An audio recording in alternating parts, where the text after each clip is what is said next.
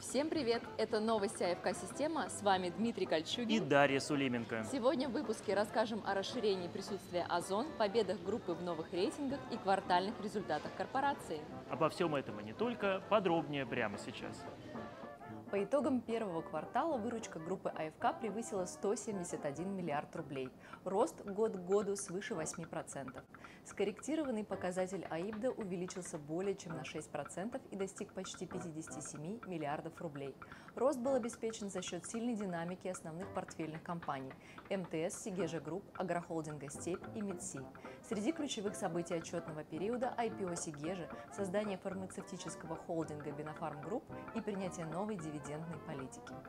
Озон расширяет свое присутствие в России и за рубежом. Ozon Express впервые вышел за пределы московского региона и начал работать в Санкт-Петербурге.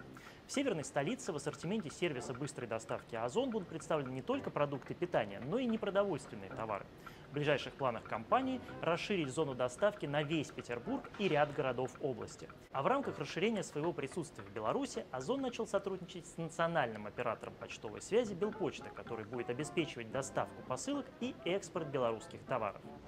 Эталон бьет рекорды рынка недвижимости. Жилой квартал «Шагал» эталона стал победителем отраслевой премии в номинации «Премьера года бизнес-класса номер один». «Шагал» – первая очередь масштабного проекта развития территории ЗИЛ-Юг.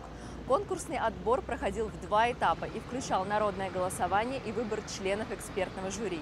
Еще два проекта группы «Эталон» – жилой остров Нагатина Айленд в Москве и ЖК-квартал Че в Санкт-Петербурге – вошли в топ-3 финалистов премии в номинациях «Жилой квартал Москвы номер один» и «Семейный объект номер один».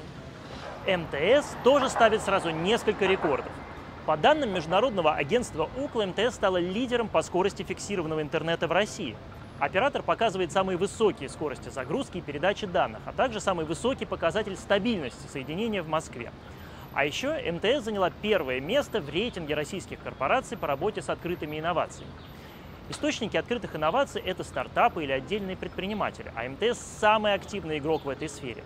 За три года МТС Стартап Хаб изучил свыше 4,5 тысяч стартапов, запустил около 80 пилотов, большинство из которых перешли в стадию масштабирования. Кстати, АФК также отмечена среди лидеров этого рейтинга в пятерке сильнейших среди банков и компаний финансового сектора. Еще немного о победах. Отчет об устойчивом развитии системы в списке финалистов международного конкурса ESG Investing Reporting Awards 2021. Корпорация в числе пяти лучших по нефинансовой отчетности инвестиционных компаний. Победители будут объявлены в начале августа. На этом у нас все. С вами были Дарья Сулименко. И Дмитрий Кольчугин. Еще больше новостей на нашем сайте Система.ру и в телеграм-канале Система News. Всем хороших выходных и отличного настроения!